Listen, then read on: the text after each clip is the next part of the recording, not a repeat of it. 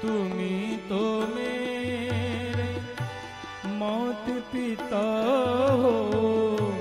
तुम्ही तो मेरे बंधु सखा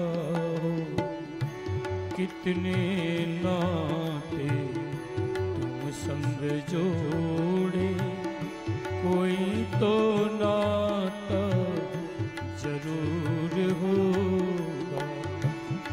कितने नाते तुम संग जोड़े कोई तो नाता जरूर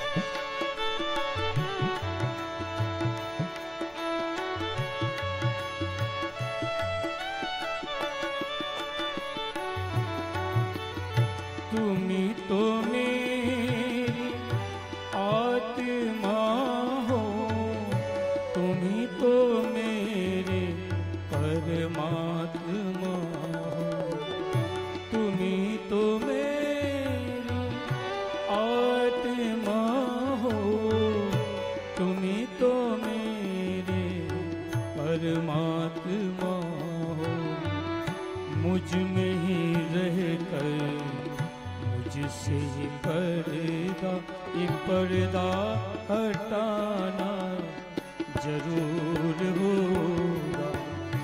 मुझमें ही रह कर मुझसे ही पर्दा, ये पर्दा हटाना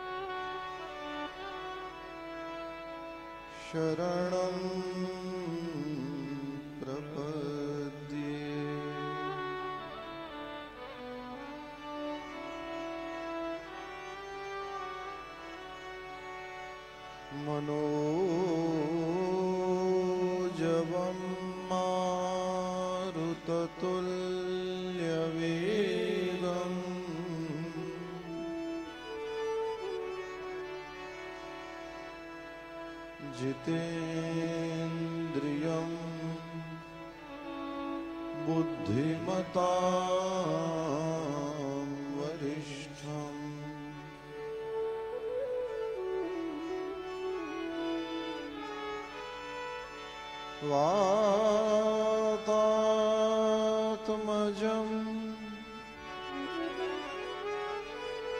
वा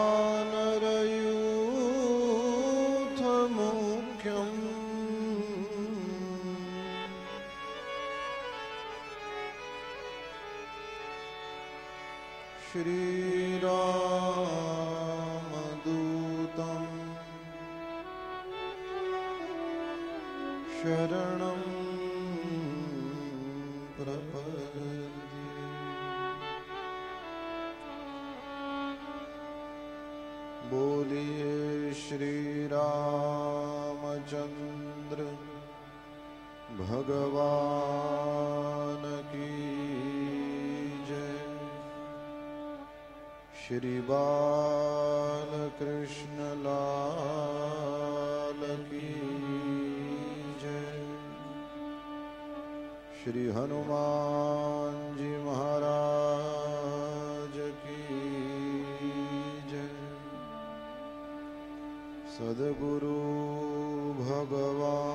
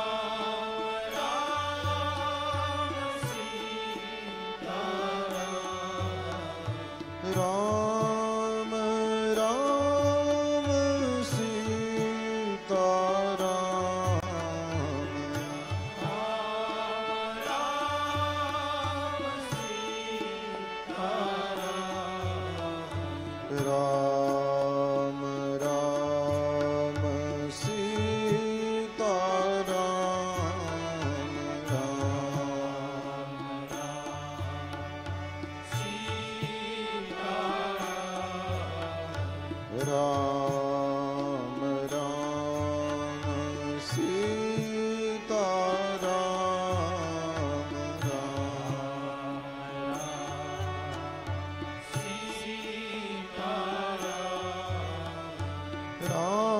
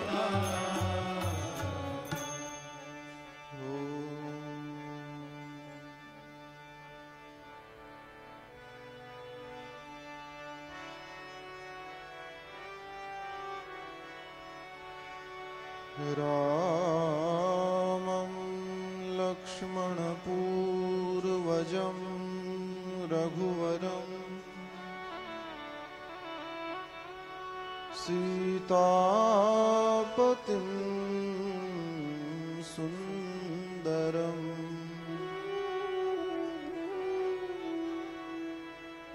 काकुत्स्थं करुणार्णवं गुणनिधिम् विप्रप्रियं धार्मिकम्।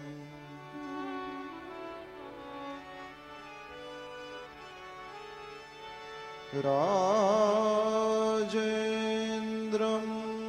सत्यसन्धम्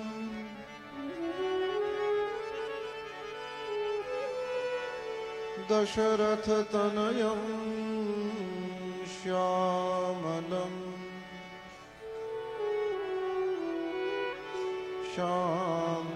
शान्तमूर्तिम् वन्दे लोकाभिरामम्। रघुकुलतिलकम्। राघवं रावणा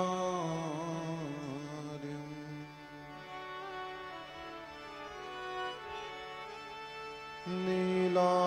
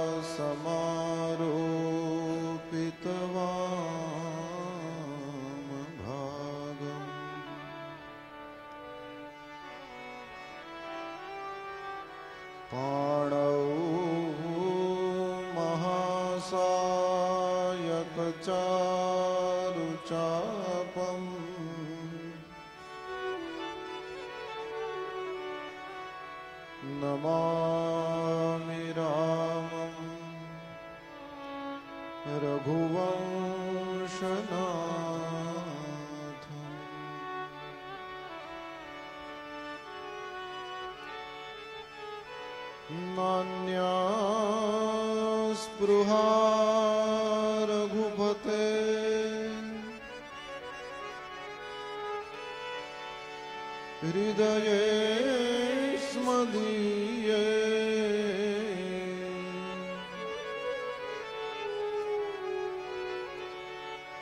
सत्यं वदामि ચ ભવાન. અખિલાંતરાત્મા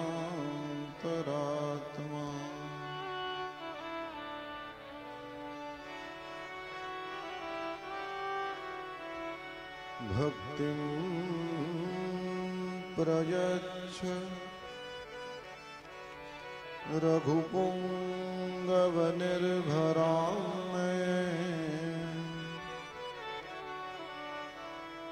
कामादिदोषरहितम्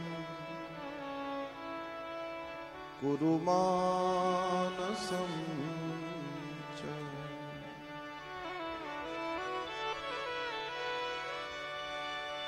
অতুলিত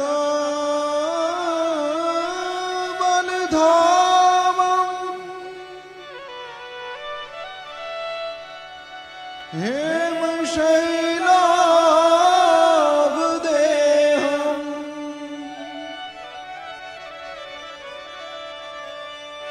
দনুজবন কৃষা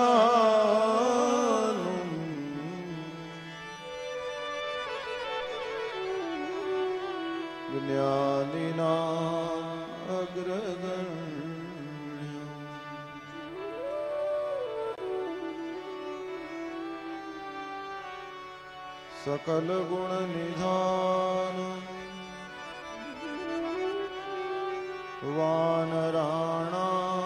वानराणामधीशम्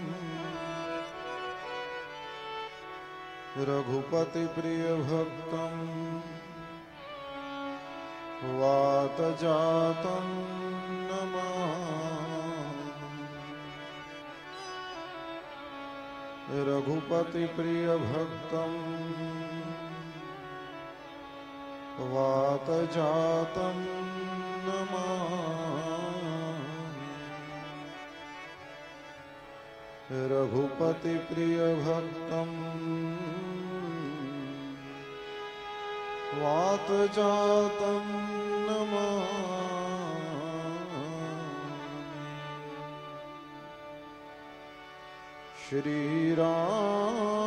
श्रीरामचन्द्र कृपा भजमान। हर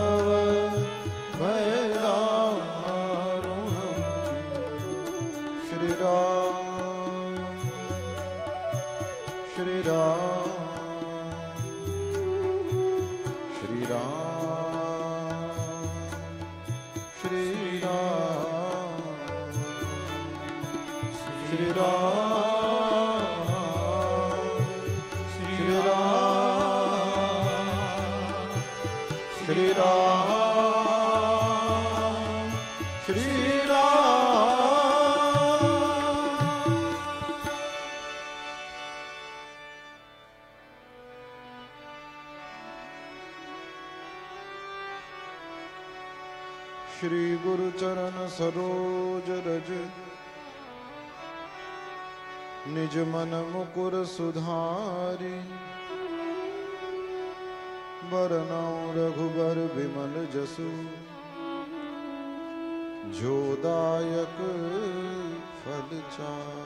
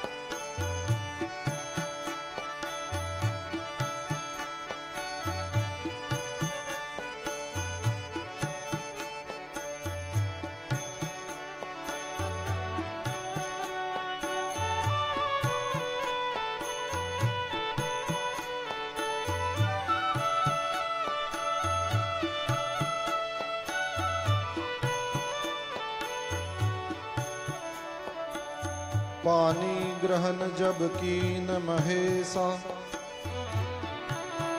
ही हर्षे तब सकल सुरेशा। वेद मंत्र मुनि मुनिबर उच्चरही जय जय जय शंकर सुर करही। बाजहि बाजन विविध बिताना। सुमन वृष्टि भय नभ विधि नाना बाजहि बाजन विविध विधाना सुमन वृष्टि भय नभ विधि नाना हर गिरिजा कर भयउ विबाहु सकल भुवन भरि रहा उछाहु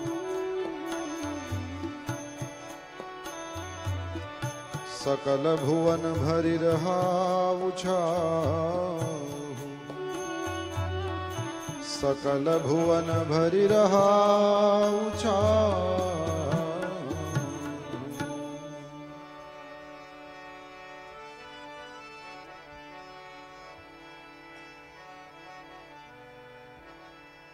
बोलिए गोस्वामी श्री तुलसीदास जी महाराज की। सद्गुरु भगवान की।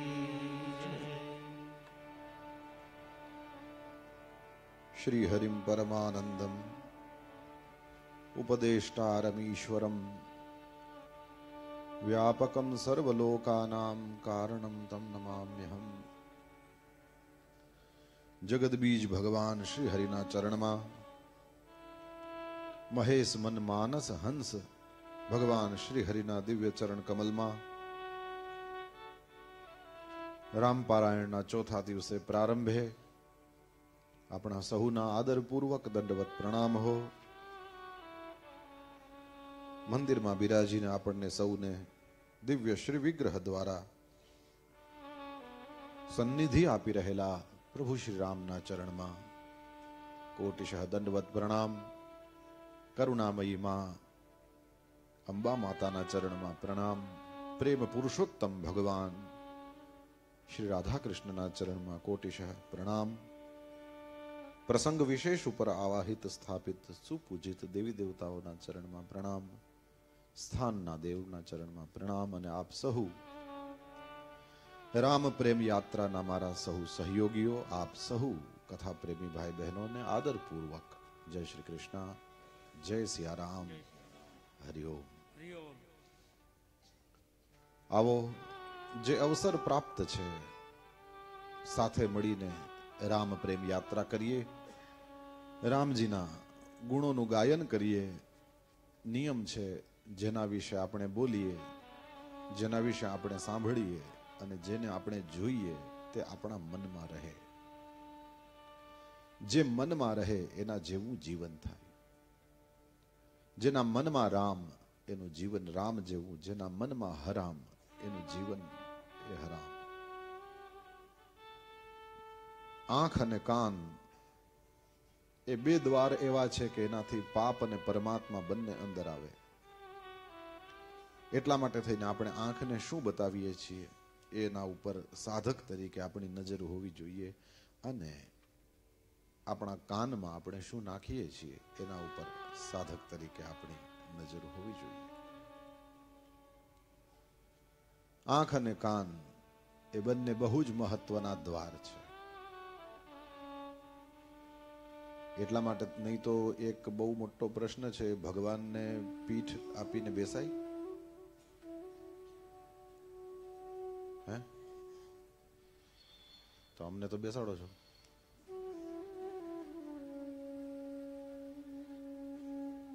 અમારા જેવા નવશીખિયાને છોડો, મોટા મોટા બેસે છે ભગવાનને પીઠ આપીને. કે ના? કરાય? ભગવાનને પીઠ કરાય? તો મોટા મોટા તો કરે છે. કેવડા મોટા મોટા કરે છે? કેમ કરતા હશે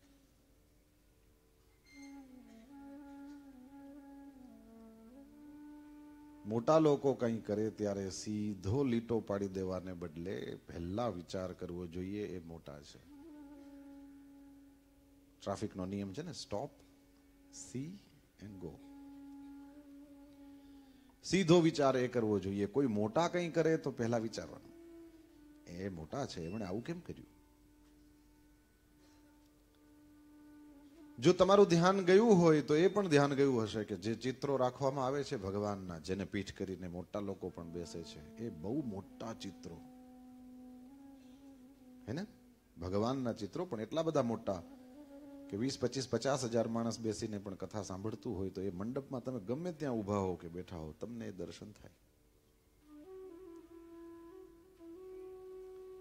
જેના વિશે આપણે ચર્ચા કરીએ છીએ, એ જ વાત છે, નેત્ર અને શ્રોત્ર. તો કાનથી તો પરમાત્મા અંદર જાય એની વ્યવસ્થા છે એ સત્સંગમાં. પણ ભગવાનનું મોટું ચિત્ર લગાવી દીધું હોય તો આંખથી પણ જેના વિશે સાંભળીએ છીએ એ અંદર આવે અને બંને દ્વારને સાચવી લે.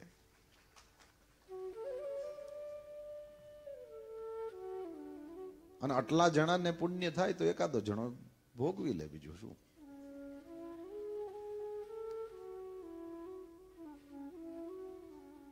મુખ્ય વાત આટલા બધા લોકોને જે ફાયદો થાય છે તેની છે.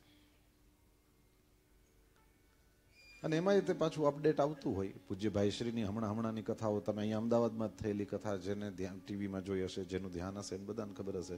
દ્વારકાધીશ ભગવાન એકદમ એમના મસ્તકની ઉપર, તમે ગમે ત્યાં બેઠા હો દર્શન થાય, એટલે એકદમ પીઠ તો આવે નહીં, કારણ કે નીચે રહી જાય. દ્વારકાધીશ ઉપર હતા.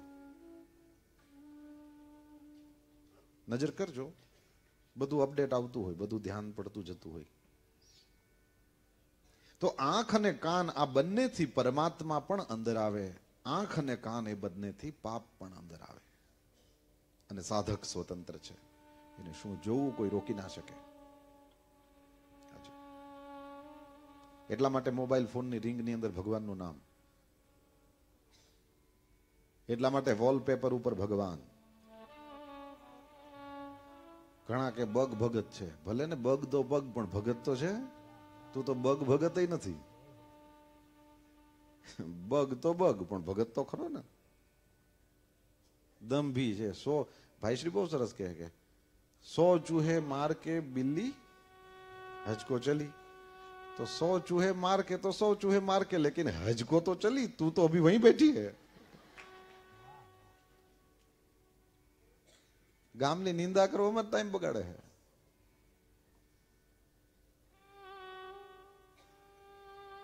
આજે સવારે અમે એક જગ્યાએ બેઠા હતા, ત્યારે અમે એ જ વાતો કરતા હતા. આપણે કેવા છીએ? આપણા કરતા વધારે કોને ખબર છે?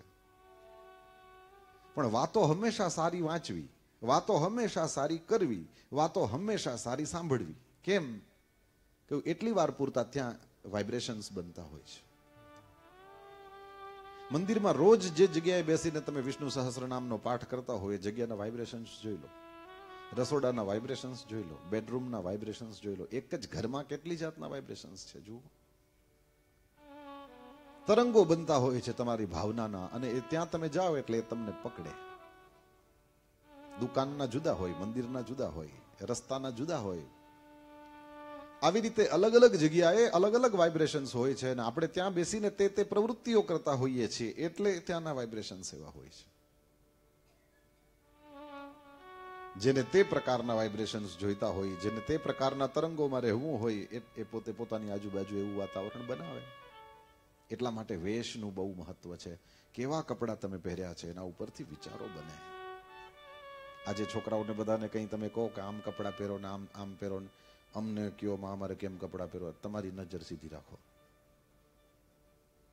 અરે ભાઈ, એનાથી પણ કઈ કઈ પ્રકારના રંગો, એનું આપણે ત્યાં એક આખું શાસ્ત્ર છે. પ્રત્યેક રંગ પોતાની અસર છોડે છે માણસના ઉપર. પ્રત્યેક પ્રકારના કપડાં વગેરે છે એનું, એ, એ- અસર છોડતા હોય છે, કારણ કે આંખથી વાત અંદર જાય છે.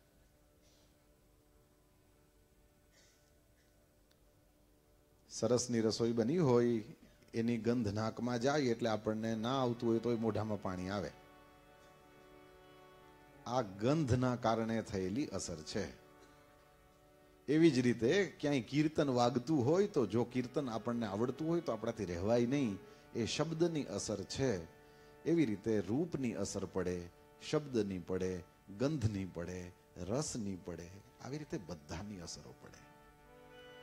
હવે આવું આપણી આજુબાજુનું એટમોસ્ફિયર જો આપણે સાત્વિક બનાવીએ અને સાત્વિક રૂપ, સાત્વિક રસ, સાત્વિક શબ્દ, સાત્વિક સ્પર્શ, સાત્વિક ગંધ આ બધું આપણી આજુબાજુ હોય, તો એની મેળે જ તે આપણા ઘરનું વાતાવરણ સાત્વિક બનવા માંડે.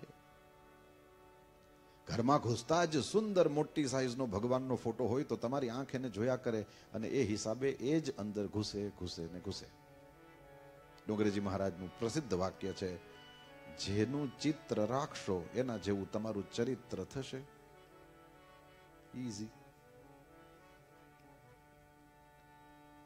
જેનું ચિત્ર, હવે ઘરમાં કેના ચિત્રો છે જોઈ લો. નહીં તો કોઈ સાબિતી નથી હો આપણી પાસે કે રામ ભગવાન આવા જ લાગતા હતા. કોઈ સાબિતી નથી આપણી પાસે કે શ્રી કૃષ્ણ આવા જ દેખાતા હતા કે દેવીમાં આવા જ લાગતા હતા. ના, કોઈ સાબિતી નથી. છતાં આપણે કલ્પનાથી એ ચિત્રો બનાવીએ છીએ. કારણ કંઈ નહીં, આપણે આપણી આંખને એ સાત્વિક ખોરાક આપવો છે. જગતમાં જેટલા રામકૃષ્ણના તમે ચિત્રો જોયા હશે, બધા જુદા જુદા હશે. છતાંય કલ્પના કરો, હિન્દુ સમાજ કેવો ગજબનો છે. બધા ચિત્રો આપણે સ્વીકારી લીધા કે હા, આ રામ ભગવાન છે. કારણ કે ખાલી ધનુષ જ જોવાનું રહેશે બાકી તમારો ફોટો કોક બરાબર ન બનાવે તો તમે એને સ્વીકારો? હા હું નથી ભાઈ. આપણે ના પડ દેવાના છે. આવું નથી. તમે આને મારા નામે નહીં રાખો. એનું જે નામ રાખવું એ રાખો. હું નથી આ. એમ કેટલી મૂર્તિઓ પાસ થાય? કેટલા ફોટા પાસ થાય? જો રામ ભગવાન પોતે નક્કી કરવા બેસે કે હું છું કે નહીં તો? અઘરો છે ને સવાલ? પરંતુ આપણે આપણા આંખને સાત્વિક ખોરાક આપવો છે. એટલા માટે થઈને આપણે મૂર્તિઓ, એ ખોટી જ છે ને એકાદી જ સાચી હશે. બાકી બધી ખોટી જ કહેવાય ને, કારણ કે એક સાચી બાકી બધી જુદી જુદી છે એટલે ખોટી. મગજમાં બેઠું કે ઉપરથી જાય છે? સમજાય છે વાત? કોની પાસે સાબિતી છે કે રામજી આવા હતા? એક તો કાળા હતા. પહેલી વાત તો ઈ કોઈ સાબિતી નથી, પરંતુ છતાંય તે સનાતન ધર્મની અંદર ઋષિમુનિઓએ સંતોએ આ વાતને સ્વીકારી, સંત સ્વયં પધાર્યા. પ્રમુખ સ્વામીજી મહારાજ જેવા, જેમણે કદાચ ભગવાનને હાજરા હજુર જોયા હોય. એમણે પણ તમને એમ ના કીધું કે આવી મૂર્તિ નથી, રામ આવા નથી. તમે આવી મૂર્તિ નહીં રાખો. ના, પ્રતિષ્ઠા કરી આપી. શું કામ? તમારી આંખને આધાર મળે, તમારા મનને આધાર મળે, અને એમ કરીને હું તો કદાચ કાલ જતો રહીશ, પણ તમારા જીવનને આધાર મળે. તો આંખ અને કાન આ બેની વાત છે. કાન શું સાંભળે છે એ જોઈ લો. આંખ શું જોવે છે એ જોઈ લો. એના ઉપરથી નક્કી થશે. આપણે ભાગ્યશાળી છીએ કે નવરાત્રિના પવિત્ર દિવસોમાં ગંગાજીની જ એક ધારા સાબરમતીના કિનારે બેસીને જ્યાં દધીચી જેવા ઋષિએ તપ કર્યું છે. સાક્ષાત શ્રી રઘુનાથજી જ્યાં બિરાજે છે, એવા પવિત્ર સ્થાનમાં બેસીને અને પવિત્ર સમયમાં આપણને સૌને આ દિવ્ય રામ કથાનો લાભ પ્રાપ્ત થઈ રહ્યો છે. ભગવાનના દર્શન થઈ રહ્યા છે. ઉત્તમ વાત. આપ સૌના ભાગ્યની સરાહના કરતા કરતા આવો, આપણે સૌ દિવ્ય રામ કથા ધારામાં શ્રી રઘુનાથજીના ગુણગાન ગાતા ગાતા પ્રવેશ કરીએ. કથા પ્રસંગ આપના સૌના સ્મરણમાં છે જ. પરમાત્મા શ્રી મહાદેવજીના વિવાહ થયા. શૈલજા, હિમાલય પુત્રી, નગાધિરાજની દીકરી, પાર્વતી સાથે. સતી માતાનો જ આ બીજો અવતાર છે. ભગવાન મહાદેવના વિવાહ થયા છે. એ બાદ ગોસ્વામી તુલસીદાસજીએ પછી પેલા ઢોલ વગાડતા વગાડતા અંદર ઘૂસી ગયા હતા. એટલે મારે જે આગળ કહેવાનું તો બધું રહી ગયું. કાંઈ વાંધો નહીં, જાશે ક્યાં? કાલ તો પાછા આવવાના જ છે ને. આપણે કાલ વાત એમ કરીને મેં મીટી લીધું. કરો, નાચો નાચો ગાવ આનંદ કરો, બીજું શું આટલા બધાની અમે એકનું શું આવે? ખરેખર જો હું તમને છૂટ આપી દઉં, તો એટલો જોરદાર અવાજ આવે કે આ માઇકમાં આપણે બોલીએ છીએ, એ નથી સંભળતું. ખાલી આ નીચે બિરાજમાન છે, એટલા જ બસ થઈ પડે. ઉપરવાળા તો બોનસમાં હે.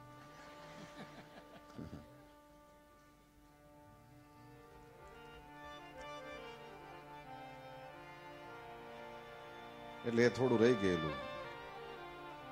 તો એ સાંભળી લો. વિવાહની વિધિ થઈ. આકાશમાંથી અનેક પ્રકારના ફૂલોની વર્ષા થઈ. દાસી દાસ રથ ઘોડા હાથી ગાયો વસ્ત્રો મણી વગેરે અનેક પ્રકારની ચીજો, અન્ન અને સોનાના વાસણો ગાડીઓમાં ભરી ભરીને દહેજમાં આપ્યા છે જેનું વર્ણન ન થઈ શકે. ગોસ્વામી તુલસીદાસજી લખે છે દાઈ જે દિયો બહુ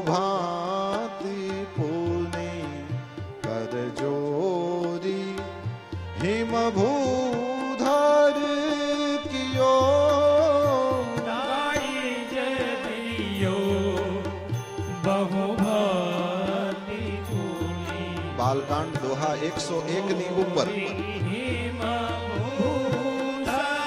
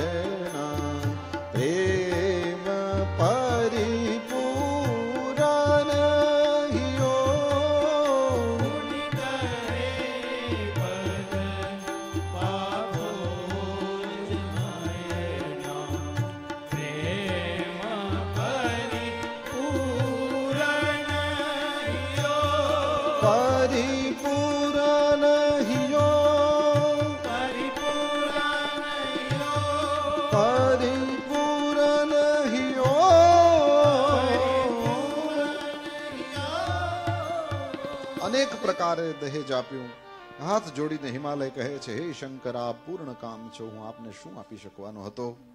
ભગવાન મહાદેવના બંને ચરણ પકડી લીધા છે. ભગવાન મહાદેવે સસરાનું સર્વ રીતે સમાધાન કર્યું છે ને એ બાદ મેનાજીએ ભગવાન મહાદેવના ચરણ પકડ્યા. હે નાથ, ઉમા, મારા પ્રાણ સમાન મને પ્રિય છે. હવે એ આપના ઘરની દાસી બનાવજો. એના કોઈ પણ અપરાધને ક્ષમા કરજો મહારાજ. અને હવે પ્રસન્ન થઈને મને આ વર આપો. જનની એ પછી તો પાર્વતીને બોલાવી લે છે, ખોડામાં બેસાડીને સુંદર શીખ આપે છે. કરે હું સદા શંકર પદ પૂજા, નારી ધર્મ પતિ દેવ દૂજા. હે પાર્વતી, સદા શિવજીના ચરણોની પૂજા કરજે. નારીનો આ જ ધર્મ છે, એના માટે પતિ જ દેવતા છે, અન્ય કોઈ દેવતા નથી. આ પ્રકારની વાતો કહેતા કહેતા એની આંખોમાં આંસુ ભરાઈ આવ્યા. પછી તો બધાએ આશીર્વાદ આપ્યા છે અને ભગવાન મહાદેવ પાર્વતીજી સહિત પોતાના ભવન તરફ ચાલ્યા છે. હિમાલય અત્યંત પ્રેમથી શિવજીને વડાવવા માટે સાથે ચાલ્યા છે અને એ બાદ ભગવાન મહાદેવે બહુ પ્રકારે એમને સંતોષ આપ્યો અને પછી બિદાકીન વૃષકેતુ હિમાલયને ભગવાન મહાદેવે એમના ઘરે પછી પાછા મોકલ્યા છે. આ તરફ પર્વતરાજ હિમાલય પોતાના ઘરે આવ્યા છે આદર, દાન, વિનય અને ઘણા સન્માન પૂર્વક એમણે બધાને બોલાવ્યા અને સૌને દાન વગેરે આપીને પછી વિદાય કર્યા. આ તરફ ભગવાન મહાદેવ કૈલાસમાં આવ્યા છે. અલગ અલગ પ્રકારે ભોગ વિલાસ કરે છે ને એ પછી શટબદન કુમાર. કાર્તિક સ્વામીનો જન્મ થયો છે જેમને સુબ્રમણ્ય કરે કહીને દક્ષિણ ભારતમાં પૂજા થાય. ભગવાન મહાદેવના પુત્ર છે કાર્તિક સ્વામી. એમણે મોટા થયા પછી તારકાસુરને માર્યો છે. ગોસ્વામી તુલસીદાસજી કહે છે, વેદ શાસ્ત્ર પુરાણોમાં કાર્તિક સ્વામીના જન્મની આ કથા પ્રસિદ્ધ છે અને આખું જગત એને જાણે છે એટલા માટે જગ જાન સન્મુખ જન્મ કર્મ પ્રતાપ પુરુષારથ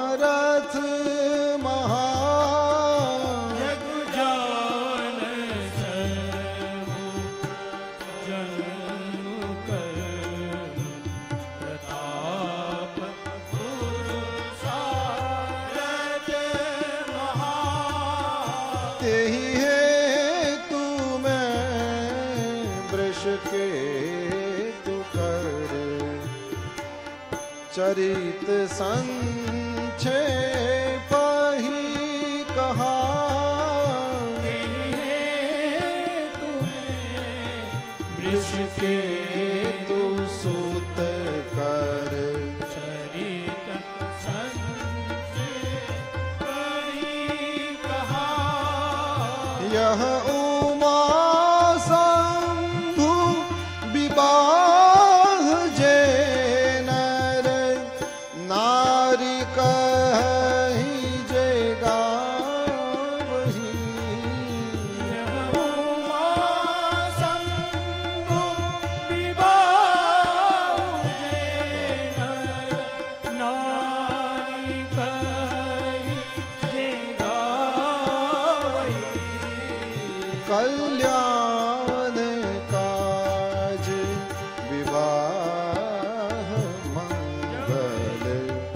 સર્વદા સુખ પા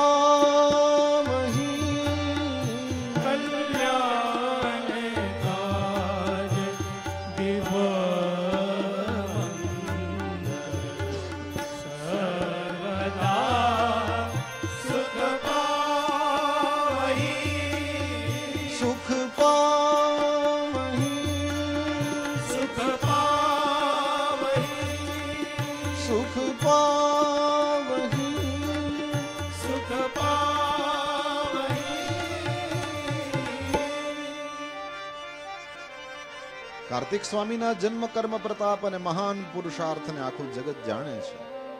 એટલા માટે મેં શિવજીના આ પુત્રના ચરિત્રને સંક્ષેપમાં કહ્યું. ભગવાન મહાદેવ અને પાર્વતી માતાના વિવાહની કથાને જે સ્ત્રી પુરુષો કહેશે કે ગાશે, તે કલ્યાણના કાર્યો અને વિવાહાદી મંગલોમાં એ બધાને સદા સુખની પ્રાપ્તિ થશે.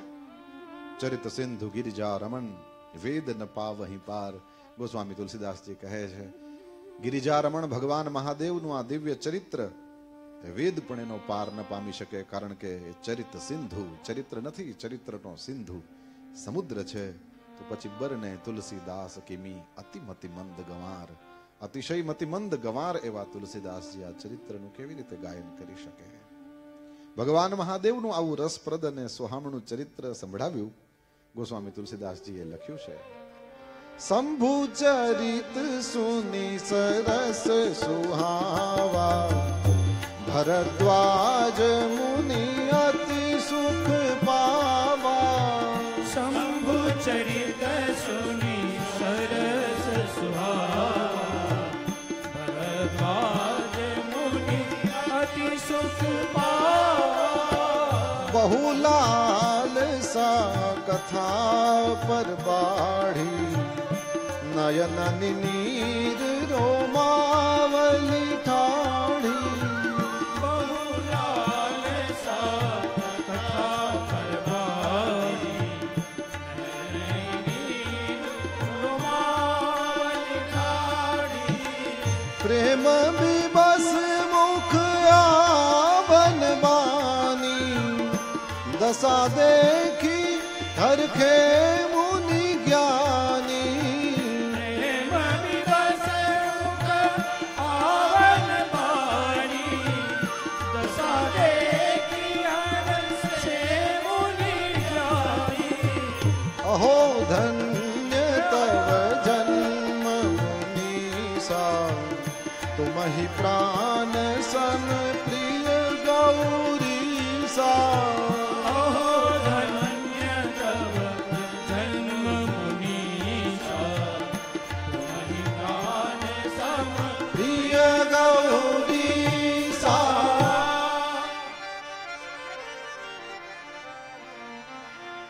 ભગવાન મહાદેવના દિવ્ય ચરિત્રને સાંભળતાની સાથે ભરદ્વાજજીની જે દશા થઈ છે એનું વર્ણન ગોસ્વામી તુલસીદાસજી લખ્યું છે યાજ્ઞવલ્ક્ય મુનિ તો જોઈ રહ્યા એની સામે. જ્યાં ભગવાન મહાદેવની આ દિવ્ય કથાનું વર્ણન કર્યું છે, ત્યાં તો મહા ભરદ્વાજજીને બહુ સુખ પ્રાપ્ત થયું. કથા સાંભળવાની લાલસા એકદમ વધી ગઈ. આંખમાં પાણી ભરાઈ આવ્યા છે, રૂવાડા ઊભા થઈ ગયા.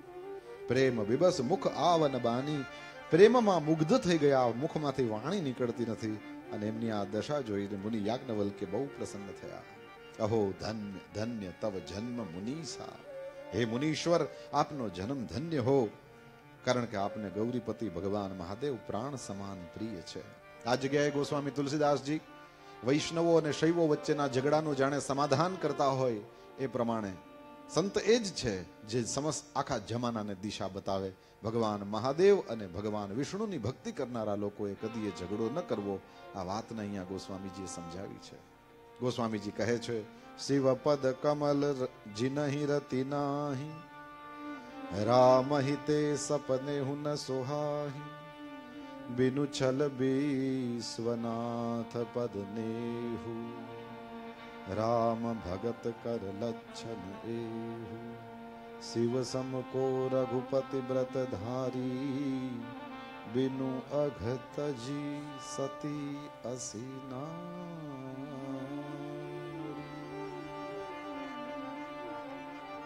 સ્વામીજી કહે છે ભગવાન મહાદેવના ચરણોમાં જેમને પ્રીતિ નથી એ રામચંદ્રજીને સ્વપ્નમાં પણ પ્રિય લાગતા નથી વિશ્વનાથ શિવજીના ચરણોમાં નિષ્કપટ વિશુદ્ધ પ્રેમ થવો એ જ રામ ભક્તનું લક્ષણ છે.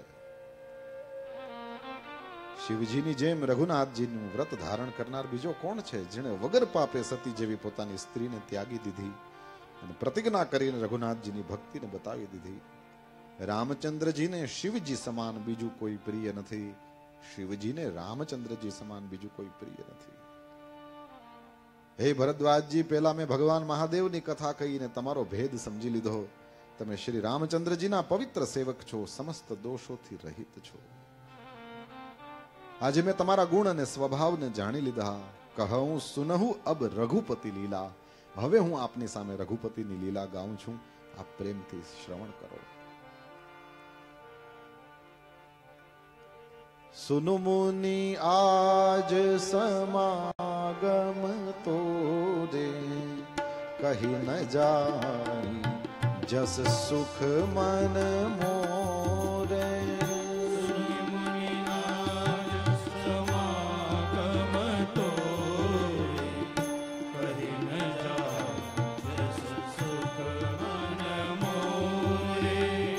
કહી ન જાય જસ સુખ મન મોરે.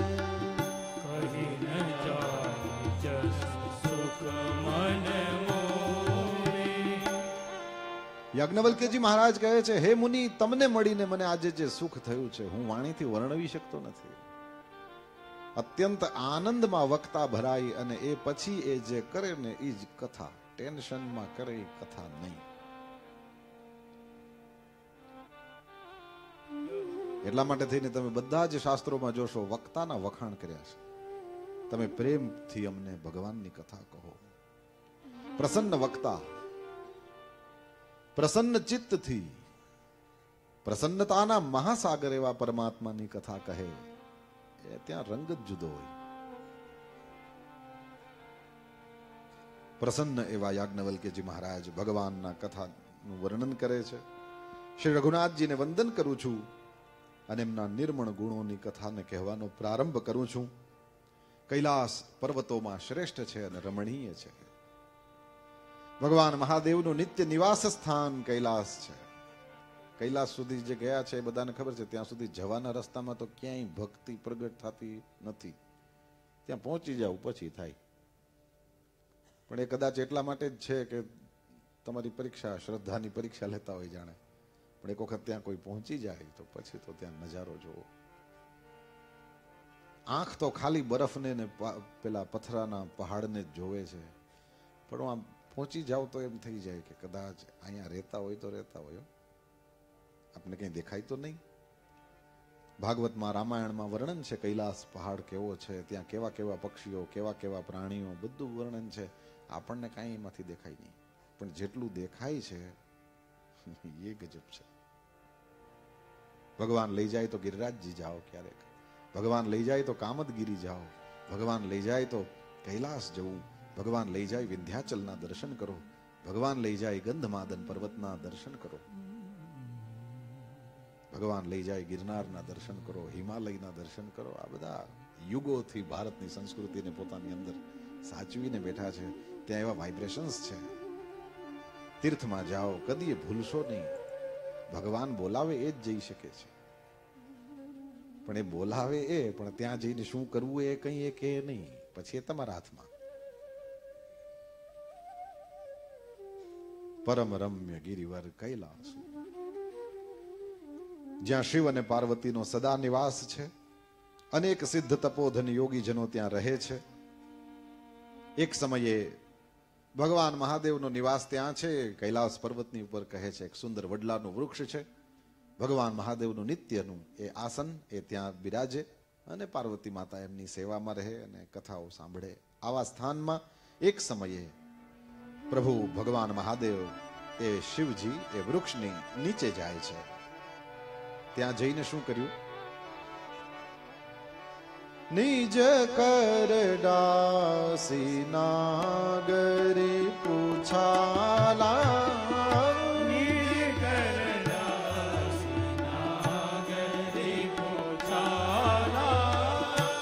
નિજ નિજ કરડાસી નાગરી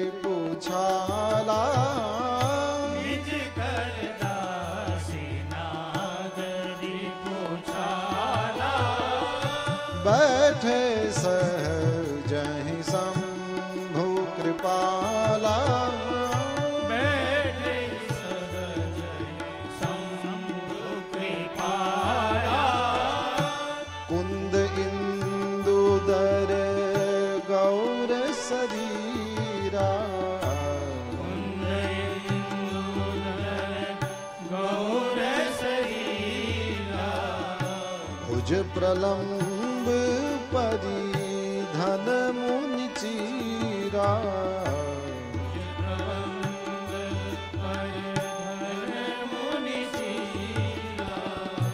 અરુણ અરુણ અંબુજ સમચરના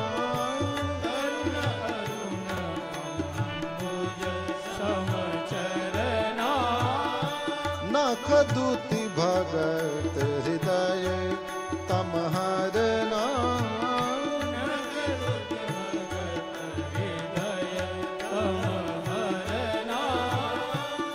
भुजग भूति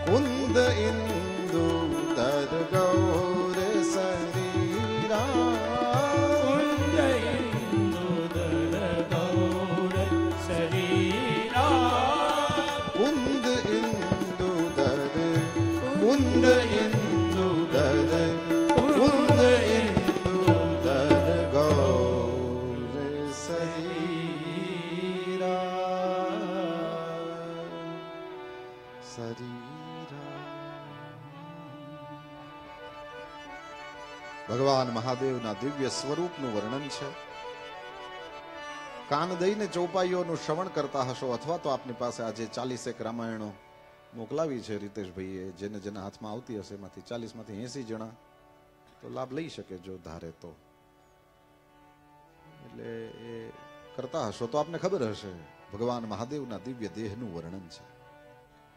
લખ્યું છે, પુષ્પ ચંદ્રમા અને શંખની જેવું જેમનું શરીર ગૌર છે. ધ્યાન રાખજો ભગવાન મહાદેવ એ રામ અને કૃષ્ણ જેવા કાળા નથી. કર્પૂર ગૌરમ. કપૂર જેવો જેના શરીરનો વર્ણ ગૌર છે તે. સાંભળે તોય નથી સમજતા. રામકૃષ્ણ જેવો વર્ણ ભગવાન મહાદેવનો નથી, એટલે ભગવાન મહાદેવનું તમે મોટે ભાગે બ્લુ જે ચિત્ર જુઓ છો એ ખોટા. શંકર ભગવાન તો એકદમ રૂપાળા.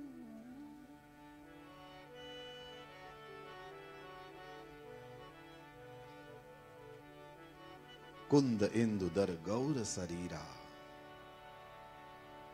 ભગવાન મહાદેવના શરીર ઉપર વલકલ વસ્ત્રો છે એમના ઘણી લાંબી ભુજાઓ છે એમના ચરણ એ તાજા લાલ કમળ જેવા સુંદર છે નખની જ્યોતિ ભક્તોના હૃદયનો અંધકાર હરે તેવી છે। સર્પ અને ભસ્મ એમનું આભૂષણ છે ત્રિપુરાસુરના શત્રુ શિવજીનું મુખ એ શરદ પૂર્ણિમાના ચંદ્રની શોભાને પણ હરનારું એટલે કે એને પણ ઝાંખું પાડી દીધું હતું। जटा मुकुट सुर सरित सिर लोचन नलिन विशाल नीलकण्ठ लावण्य निधि सोह बाल विधुभा। नीलकण्ठ सोह बाल विधुभा।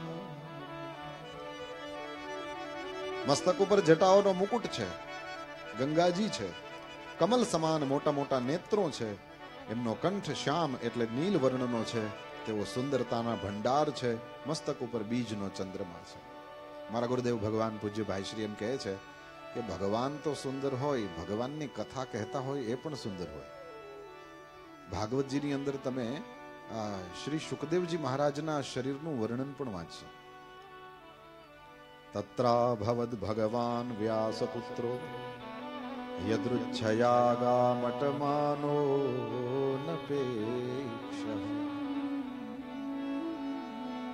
શ્રી સુખદેવજી મહારાજના દિવ્ય દેહનું ત્યાં વર્ણન છે। છાતી બહાર નીકળેલી છે, પેટ પીપળાના પાંદડા જેવું છે, શંખ જેવી ઉતાર ચડાવવાળી ડોક છે, લાંબી ભુજાઓ છે જુલ્ફાઓ લહેરાય છે ખંભા ઉપર. દિવ્ય દેહ ભગવાન શ્રી સુખદેવજી મહારાજનું.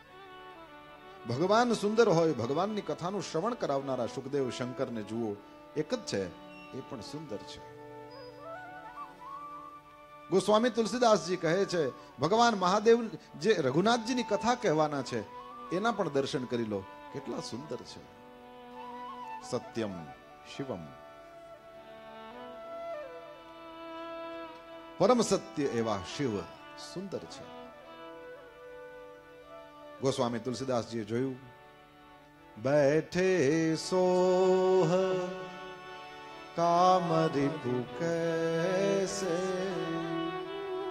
ધરે શરીર, શાંત રસ જૈસે અમુક લોકો એમ વિચારે છે કે આ તમે ગાવામાં રહી જાવ છો ને, એમાં કથા રહી જાય છે. આ ઢોલવાળા એમને એમ નહોતા, એ તો ટાઈમસર સાત વાગે જ આવ્યા હતા. ગાયા જ કરો પછી રહી જ જાય ને કથા. પણ શું થાય, રામાયણ અમારા હાથમાં એ કોક દિવસ જ આવે છે. આપને એમ થાય, જેટલી વંચાય એટલી પણ મોજ પડવી જોઈએ. આ બરાબર હાલે છે ને? નહીતર હાલશે તો આમ જ ખાલી તમારે હાથ પાડવાની છે. હાલશે તો આમ જ. કાંઈ ફેરફાર નહીં થાય. બેઠે સોહ કામ રીપુ કેસે કામ રીપુ ભગવાન મહાદેવ એ બેઠેલા કેવા સુંદર લાગતા હતા. ધરે શરીર શાંત રસ જૈસે જાણે કે શાંત રસે પોતે જ શરીર ધારણ કર્યું હોય.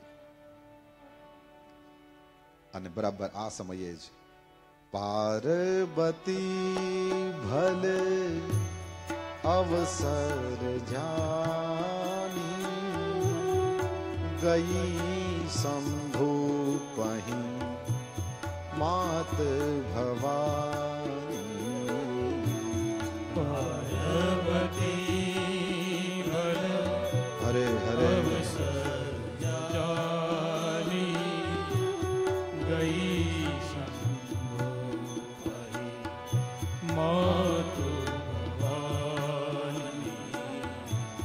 જાની પ્રિયા આદર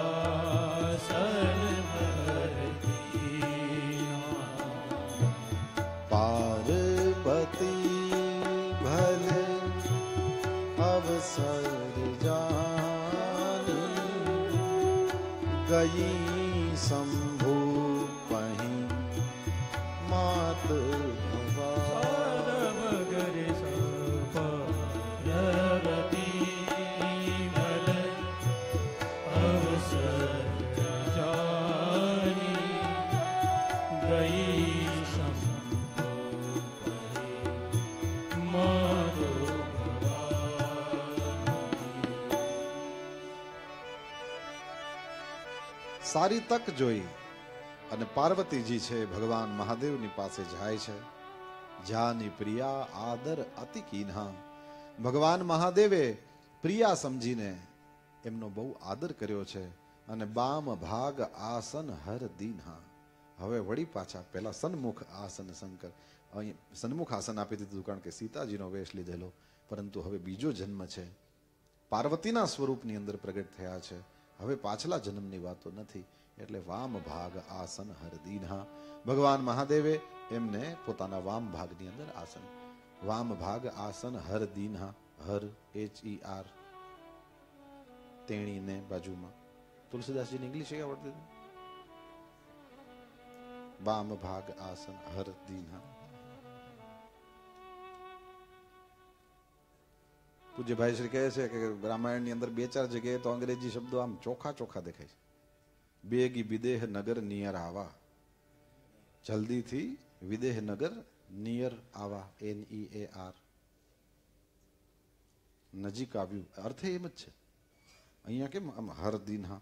એના જેવું ત્યાંય છે. નજીક આવ્યું. નિયર આવા. એક જગ્યાએ છે ભરત સહ ગોન. જી ઓ એન ઈ ગયો. ગયો. બે ત્રણ જગ્યાએ એવા છે. એકદમ ઇંગ્લિશ શબ્દો જ જાણે. ગુજરાતીના શબ્દો છે આમાં. હા. પ્રાસાદિક ગ્રંથ છે. સૌ સૌની નજરથી જોવે અને ઘણું બધું મળે. ભગવાન મહાદેવે પોતાની બાજુમાં બેસાડ્યા છે. અત્યંત આનંદપૂર્વકે ભગવાન મહાદેવની પાસે બેઠા.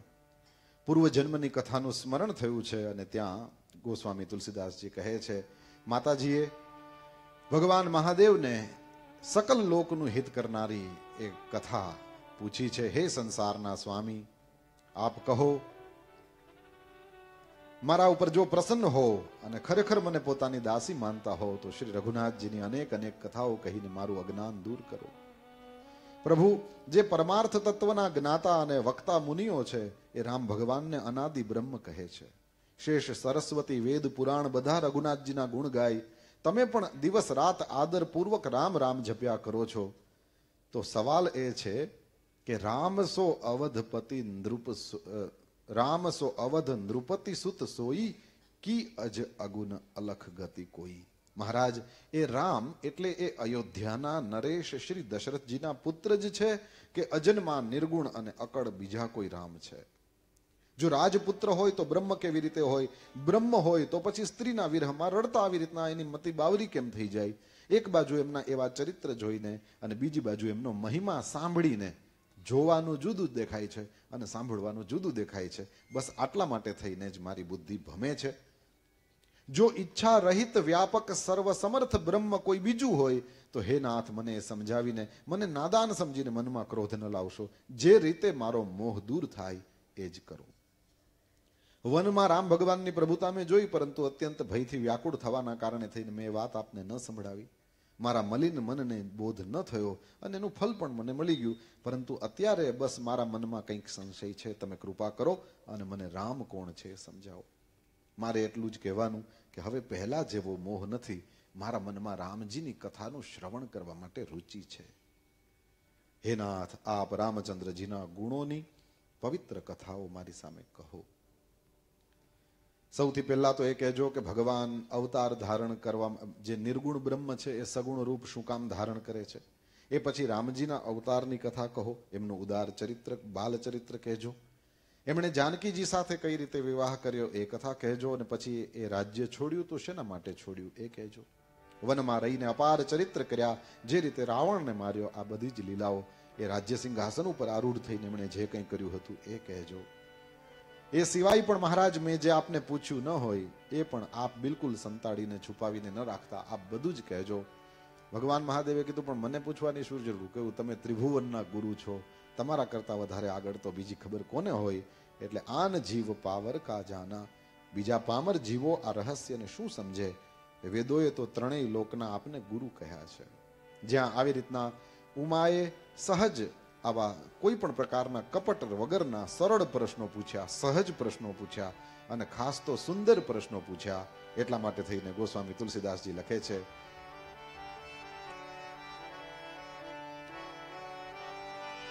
हर हरहि रामचरित सब आए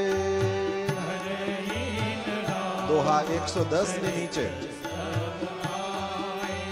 प्रेम पुलक लोचन जल छाए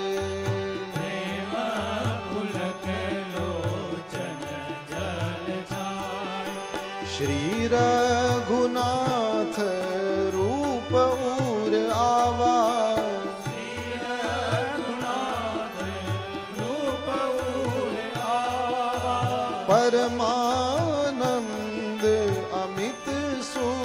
पावा। परमानन्द पावार सुपा हर सब आ।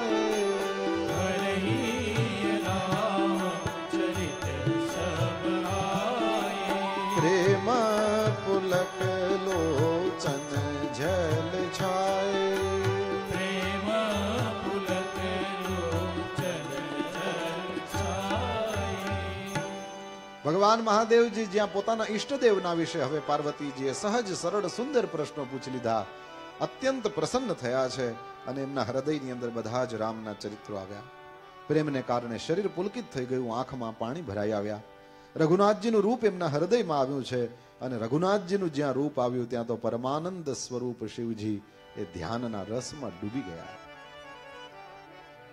બે ઘડી સુધી એ ધ્યાનનો, પરમાત્માના એ દિવ્ય શ્રી વિગ્રહના ધ્યાનનો આનંદ લીધો છે. મંગલાચરણમાં આ જ કરવાનું છે. તમે જે સ્વરૂપના વિશે વર્ણન સાંભળો છો, એ જ ભગવાનને મનની અંદર લઈ આવવાના છે. મંગલાચરણનો બીજો કોઈ અર્થ નથી. માત્ર થોડા શ્લોકો આંખો બંધ કરીને ગાવા એવું નથી. હકીકતમાં ભગવાનના રૂપને આપણે આપણા હૃદયમાં બેસાડવાનું હોય છે અને હૃદયમાં ભગવાન બેઠા હોય તો પછી જે કથા કહે તે ભગવાન જ કહે અને કથાનું શ્રવણ કરે તે પણ શ્રી પ્રભુ જ એ જ કરે. પ્રેમપૂર્વક ભગવાનને હૃદયમાં પધરાવવા, એ જ જેનું આચરણ મંગલ છે એવા પ્રભુને યાદ કરવા. પૂજ્યભાઈ શ્રી બહુ સારી વ્યાખ્યા આપી. કહે છે, જેનું આચરણ મંગલ છે, તેવા પ્રભુને યાદ કરવા, એ જ મંગલ આચરણ. મગન ધ્યાન રસ દંડ જુગ. બે ઘડી સુધી ભગવાન મહાદેવજીએ ધ્યાનમાં રહ્યા. વક્તાની આ ફરજ હોય છે, એ શું કરે? કયું એકદમ ડૂબી જાય. તો પણ બોલી ન શકે. પરમાત્માના ચિંતનમાં મગન બની જાય તો પણ ન કહી શકે. અને એકદમ બહારથી કોરું કોરું બોલતા હોય તો એની અંદર ભક્તિની વિનાશ ભળે નહીં. તો શું કરવું પડે? કહ્યું એ અંદર જે હૃદયની અંદર પરમાત્મા બિરાજે છે અને બહાર જે સામે બેસીને શ્રોતા સાંભળવા માટે બેઠો છે, એ બંને તરફ ધ્યાન રાખીને એ ક્યાંક વચ્ચે બેઠો હોય છે અને એ ક્યારેક વળી પાછો અંદરથી આચમન લઈ લે અને પરમાત્માના એ રૂપને પી લે, પરમાત્માના ચરિત્રને પી લે અને એ જ વાતને પોતાના મુખે પીવડાવે. ભગવાન મહાદેવ બે ઘડીએ આનંદમાં રહ્યા, પણ પછી એમણે મનને બહાર કાઢ્યું. કારણ કે જરૂરી છે, જો મન ન હોય, મનને બહાર ન કાઢે, તો કંઈ બોલી ન શકે. અત્યંત સુખમાં કે અત્યંત દુઃખમાં આપણે કશું બોલી શકતા નથી, આપણો પોતાનો અનુભવ છે. ભગવાન મહાદેવે પોતાના મનને બહાર કાઢ્યું અને પ્રસન્ન થઈને શ્રી રઘુનાથજીનું દિવ્ય ચરિત્ર એ વર્ણન કરવા લાગ્યા છે, મંગલાચરણ કરે છે ભગવાન મહાદેવ. झूठे सत्य जाहि बिनु जाने, जिमि भुजंग बिनु रजु पहचाने। जही जाने, जग जाई हेराई जागे जथा सपन भ्रम जाई। बंद बाल रूप सोई राम, सब सिधि सुलभ जपत जिसु नाम। मंगल भवन अमंगल हारी દ્રવ સુદસ રથ અજીર બિહારી. જેને જાણ્યા વિના જૂઠું પણ સત્ય જણાય છે. જેમ વગર ઓળખે દોરડામાં સર્પનો ભ્રમ થઈ જાય અને જેને જાણી લીધા પછી જગતનો એવી રીતે લોપ થઈ જાય જેમ જાગ્યા પછી સ્વપ્નનો ભ્રમ જતો રહે, હું એ જ રામજીના બાલરૂપની વંદના કરું છું, એનું નામ જપવાથી બધી જ સિદ્ધિઓ સહજ પ્રાપ્ત થઈ જાય છે. મંગલ ભવન, મંગલના ધામ, અમંગલ હારી, અમંગલને હરનારા અને દશરથ અજીર બિહારી દશરથના આંગણામાં રમનારા એ બાલરૂપ રામચંદ્રજી દ્રવઉ મારા ઉપર કૃપા કરો. કરી પ્રણામ રામ હિ ત્રિપુરારી. ત્રિપુરારીએ રામજીને વંદન કર્યા છે ને અત્યંત પ્રેમપૂર્વક અમૃત સમાન વાણી બોલ્યા છે. ગિરિરાજ કુમારીને ધન્યવાદ આપે છે. દેશ. ધન્ય ધન્ય ગિરિરાજ કુમારી.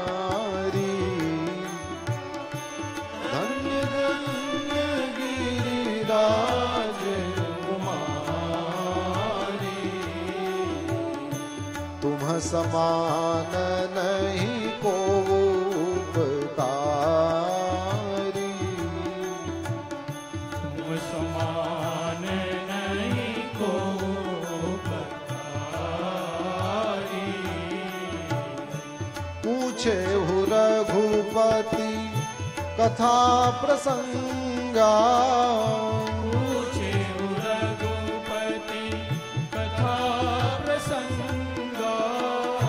सकल लोक जग पावनी गंगा सकल लोक जग पावनी गंगा धन्य धन्य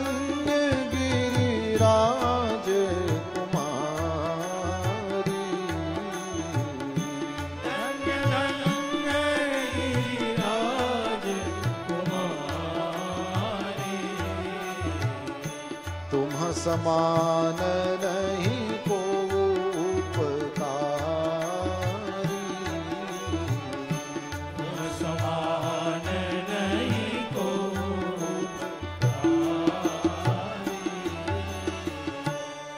વક્તા શ્રોતાનો ધન્યવાદ કરે છે. હે ગિરિરાજકુમારી ખૂબ ખૂબ ધન્યવાદ. તમારા જેવો કોઈ ઉપકારી નથી. કેમ? કારણ કે તમે રઘુનાથજીની આ દિવ્ય કથા પૂછી છે જે સકલ લોક જગપાવની ગંગા ગંગા સમાન છે, વહેતી રહે છે.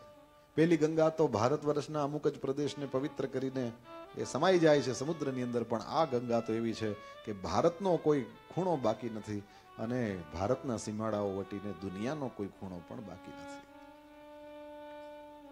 આ કથા ગંગા તો સર્વત્ર વહે છે. શ્રી નારદજી જેવા અનેક સંતો જેને એક જગ્યાએ ઊભા ન રહેવાનો શાપ છે, ફરતા જ રહે છે, ફરતા જ રહે છે અને ભગવાનના ગુણો ગાતા રહે છે. સકલ લોક જગ પાવની ગંગા. આ ગંગા તો એવી છે કે જે સમસ્ત ભુવનને પવિત્ર કરે છે.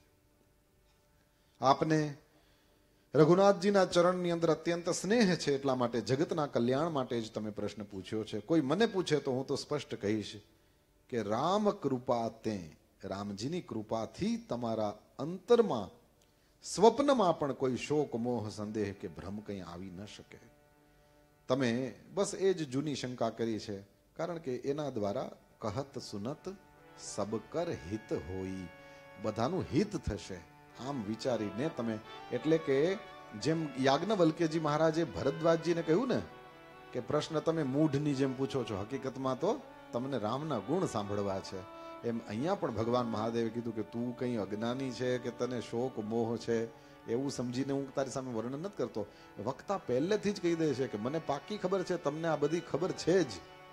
એટલે સ્મારયે નતું શિક્ષયે.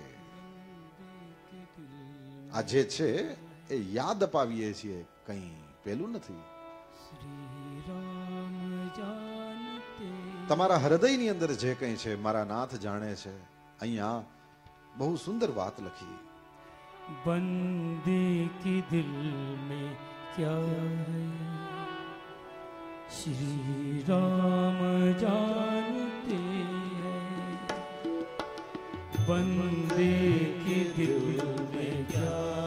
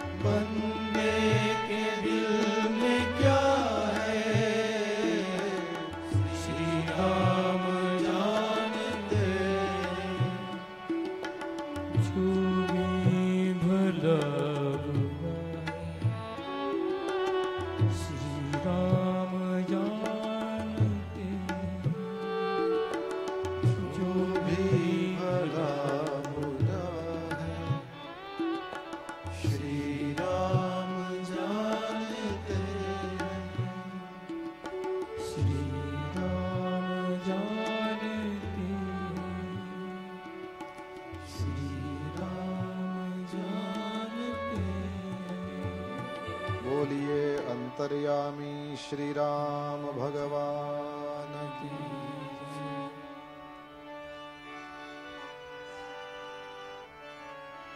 અરે ભાઈ કોઈ પૂછે નહીં તો કોઈ કહે કેમ કોઈ રાવણ થાય જ નહીં તો લીલા કરવી કેમ રામલીલા કરવી હોય તો કોઈ રાવણ જોઈએ એમ કથાની લીલા કરવી હોય તો કોઈ પૃચ્છક જોઈએ બાકી ભગવાન તો બધું જાણે. ભગવાન મહાદેવ કહે છે, મારા હિસાબે તમારા મનમાં કોઈ શોક, મોહ, સંદેહ કંઈ નથી. તો આજે કયા એમ કયો, તે દિવસે તો પ્રતિજ્ઞા કરી લીધી મારો પત્ની તરીકેનો ત્યાગ કરી દીધો કીધું, લીલા. હા, અભિનય કરો તો એવી રીતે કરો જાણે તમે જીવન જીવો છો. મારા ગુરુદેવ ભગવાન પૂજ્ય ભાઈશ્રી કહે છે, અભિનય કરવાનો વારો આવે કોક દિવસ. મારો આવ્યો છે. તમારો આવ્યો તમને ખબર. સ્કૂલમાં, નાટકમાં, હું તો નારદજી બહુ થયો. એ ઓલું દે ટીંગ ટીંગ વાળું. બહુ ના, કે ત્રણ ચાર વાર તો નારદ જ થયો. હા. અભિનય કરો તો એવી રીતે કરો. જાણે જીવન જીવો છો. અને હવે બહુ કામની વાત કરી, કહ્યું જીવન જીવો તો એવી રીતે જીવો, જાણે અભિનય ક્યાંય ચોંટવાનું નહીં.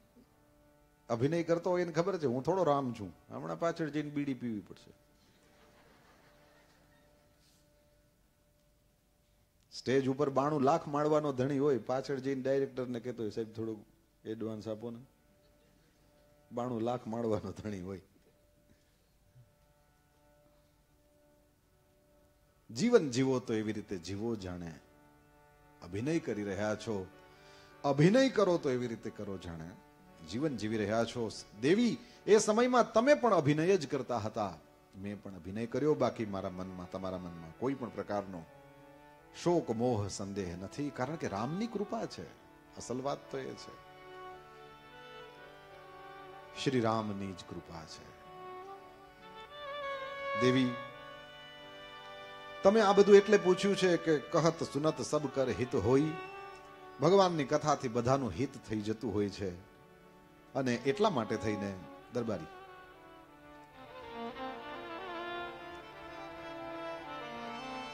जिन हरि कथा सुने नहीं काना जिन हरि कथा सुनी नहीं काना श्रवण रंध्र પાહી ભવન સમાના શ્રવણ હરી ભવન સમાના જેણે પોતાના કાનથી ભગવાનની કથાનું શ્રવણ કર્યું નથી કાન નથી સર્પને રહેવાના દર છે. નયનની સંત દરસ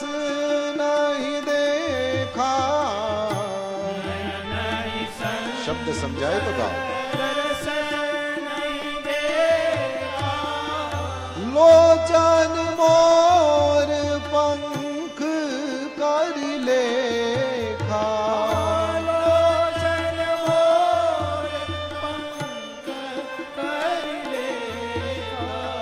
જેણે પોતાના નેત્રોથી સંતોના દર્શન કર્યા નથી, એ નેત્રોની ગણતરી મોરના પીછા ઉપર દેખાતી નકલી આંખો જેવી, એના જેવી થાય છે. તે સિર કટુ તુંબરી સમતુલા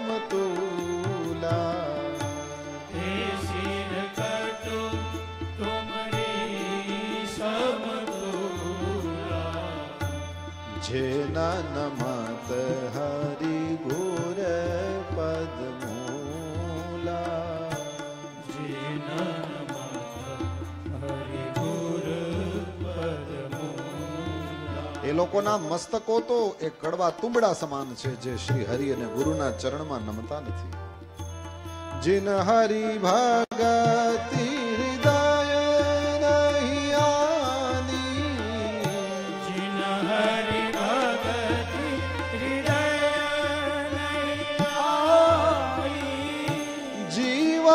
સાવ સાવ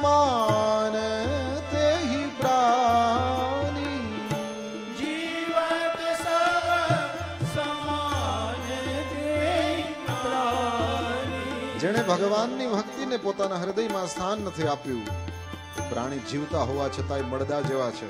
જો નહીં કરઈ રામ ગુણ ગાના જો ન કરઈ રામ ગુણ ગાના જી હસુદા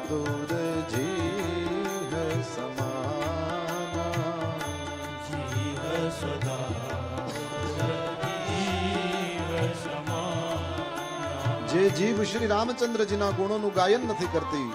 દેડકાની જીભ સમાન છે. પોલીસ કઠોર મીઠોર સોરી છાતી.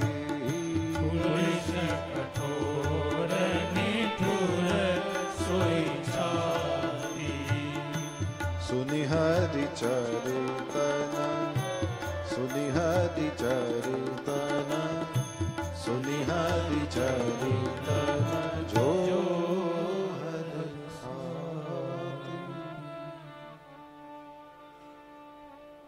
એ હૃદય વજ્રના જેવું કઠોર છે, નિષ્ઠુર છે, જે ભગવાનના ચરિત્ર સાંભળીને હર્ષિત થતું નથી. સાબરમતીના સંત ગાંધી બાપુ તો ખરા જ પણ સાધી ગામમાં જન્મીને જેમણે આ નગરને પવિત્ર કર્યું. જગત આખું શ્રીમદ ભાગવતની વાત આવે ત્યારે કાન પકડીને દાદાજીનું નામ બોલે. ગૌલોકવાસી વિશ્વવંદ્ય પરમ પૂજ્ય. જેમણે આચરણની પવિત્રતા અને મસ્તિષ્કની સર્વોચ્ચ ઊંચાઈ તત્વજ્ઞાનનું જગતની સામે અદ્ભુત ઉદાહરણ રાખ્યું. જેમના જેવું કોઈ ભવિષ્યમાં થશે કે કેમ શંકા થાય, જેમનું નામ સાંભળતા આપણી આંખો ભીની થાય. કૃષ્ણશંકર શાસ્ત્રીજી, દાદાજી. ભાગવત, હાલતા ચાલતા ભાગવત. સચલ ભાગવત. પુસ્તકો અચલ ભાગવત હોય છે. સંતો સચલ ભાગવત. દાદાજી આજ ચોપાઈઓનો ભાગવતમાં આના જેવા જ શ્લોકો છે. શ્રીમદ ભાગવતના જ શ્લોકોનું અહીંયા ભાષાંતર છે. દાદાજી બહુ સરસ રીતે સમજાવતા કે આ કાન થયા એને બદલે સર્પના રહેવાના દર થયા હોત તો સર્પને તો કામ લાગતે? માણસના કાન થયા અને કથા સાંભળતા નથી એટલે અહીંયા લખ્યું છે ને, કથા ન સાંભળે તો એ સર્પના દર જેવા છે. દાદાજી કેવું સર્પના દર થાય તો એ સર્પને તો કામ લાગે, આ માણસના કાન થયા. ન સર્પને કામ લાગે, ન કથા સાંભળે. ધોબીના પેલા બાવાના બે. ન ઘરકા, ન ઘાટકા. ન હરપને કામનો. ન આને કામના. આંખો શ્રી હરિનું દર્શન કરતી નથી તો. એ આંખ કેવી છે? કહે લોચન મોર પંખ કર લેખા. મોરના પીછામાં રહેલી નકલી આંખ જેવી આંખ છે. મોરના પીછાની આંખ થાય તોય દાદાજી કહે છે કે ધ્યાન દેજો, કામ લાગે, કોક કૃષ્ણની મૂર્તિના ઉપર ચડાવવા થાય મોરનું પીછું. પણ આ તો આ આંખ થઈ. ન ત્યાં કામની, ના ધોબિકા કુત્તા હૃદય પથરા જેવું હોય તો એ ચટણી વાટવા કામ લાગે. કુતરું આવ્યું હોય તો ભગાડવા કામ લાગે. પણ આ હૃદય થયું છે, એમાંય કામ નથી લાગતું ને હરિની કથા સાંભળીને પલળતું નથી. હાય રે દુર્ભાગ્ય. માથા ભગવાનના ચરણમાં ન નમે તો કડવા તુંબડા જેવા કડવું તુંબડું કામ લાગે? સાધુ મહાત્માઓ રાખે ને, કે છે એક વખત પેલું નદીમાં પૂર આવ્યું હતું, તુંબડું જતું જોઈને છગનાને એમ થયું ખરું તુંબડું કામ લાગે. એ તુંબડું લેવા માટે નદી પાણીમાં પીડ્યો હતી. જ્યાંથી આમ આમ બહાર નીકળ્યો ત્યાં અંદરથી બાપુ નીકળ્યા. કે હું આમાં તણાઈ ગયો તો સારું થયું. તુંબડાના હિસાબે ડૂબતો નહોતો. તે તુંબડાના લોભે તુંબડું કાઢ્યું ભેગા ભેગા બાપુ નીકળી ગયા. તુંબડું બી કામ કી ચીજ હે બચ્ચા અચ્છા કિયા. તુંબડું થયું હોત તો એ આવી રીતના કોક બાપુને કામ લાગત. પણ આ માથા થયા ક્યાંય નમતા તો છે નહીં. જો જે ન નમત હરિ ગુરુ પદ મૂલા. શ્રી હરિના કે ગુરુદેવ ભગવાનના ચરણારવિંદમાં નમે નહીં, તો કડવા તુંબડામાંથી એ ગયા. ગિરિજા સુનહુ રામ કે લીલા. ભગવાન મહાદેવ હવે રઘુનાથજીની લીલાઓનું શ્રવણ કરાવે છે અને દેવતાઓનું કલ્યાણ કરનારી અને દૈત્યોને વિશિષ્ટ પ્રમાણે, વિશિષ્ટપણે મોહિત કરનારી છે આવું કહે છે. ભગવાનની કથાને કામધેનુ સમાન કહી છે. કામધેનુનો મતલબ છે કામધેનુની પાસે જઈને જે જે માંગે તે મળે. સત્ય હકીકત છે જે કોઈ વ્યક્તિ આ કથાનું સેવન કરશે એને ભોગ મોક્ષ. અરે આલોકની કોઈ સિદ્ધિ, પરલોકની કોઈ સિદ્ધિ જોઈતી હોય તો પ્રાપ્ત થાય છે. રામાયણનું સેવન, ભાગવતનું સેવન, ગીતાનું સેવન, કોઈ પણ પ્રકારના સકામ અનુષ્ઠાન પણ આના થાય છે અને નિષ્કામ તો સવાલ જ નથી. આપણી પાસે આ ખજાનો છે, કદી એ કંઈ જોઈતું હોય તો આપણા આપણા ધણી પાસે મંગાય, પાડોશી પાસે ના જવાય. એમ આપણી, આપણા ઋષિમુનિઓએ આપણને ગ્રંથો આપ્યા છે. આપણે એના વારસદારો છીએ. કંઈ જોઈતું હોય તો આની પાસે માંગો. બલ બુદ્ધિ વિદ્યા દેહુ મોહી, હરહુ કલેશ આ હાલો એક હનુમાન ચાલીસા કરી જ લે પછી એટલું થોડું બોલાય. શ્રી ગુરુ ચરણ સરોજ રજ, નિજ મન મુકુર સુધારી. બરનૌ રઘુબર વિમલ જસુ, જોદાયક ફલ ચાર. બુદ્ધિહીન તનુ જાનિકે સુમિરો પવન કુમાર. બલ બુદ્ધિ વિદ્યા દેહુ મોહી હરહુ કલેશ વિકાર જય હનુમાન જ્ઞાન ગુણ સાગર જય કપી સતી હું લોક ઉજાગર રામદૂત અતુલિત બલ ધામા અંજની પુત્ર પવન સુત મહાવીર વિક્રમ બજરંગી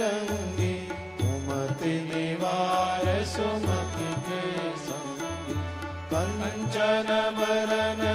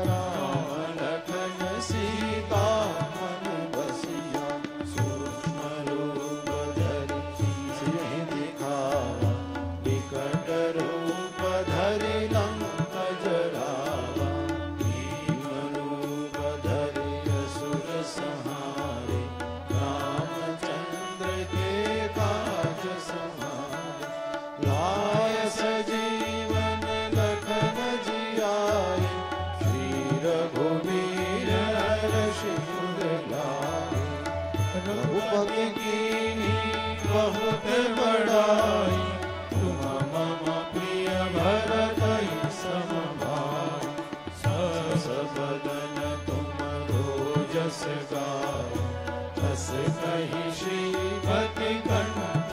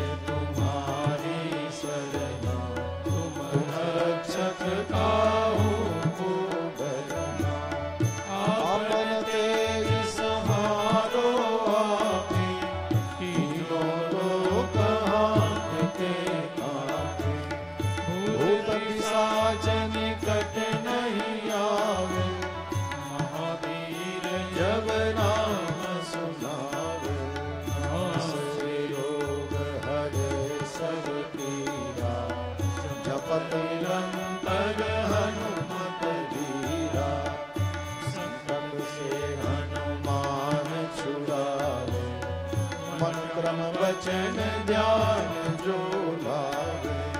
સબ પર રામ તપસ્વી રાજા ઇલકે કાઢ सकल तुम साजा और मनोरथ जो कोई लावे सोया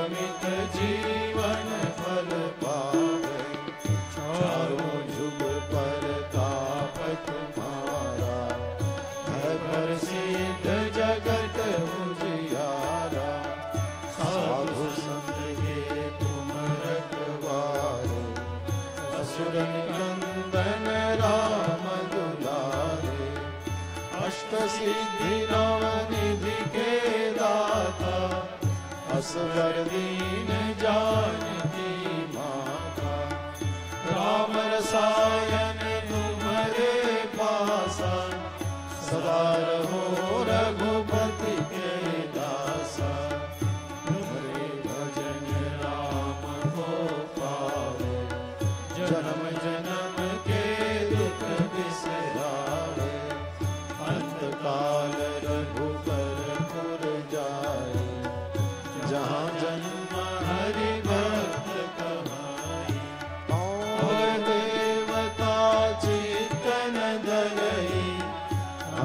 सर्वसे सर्वसुख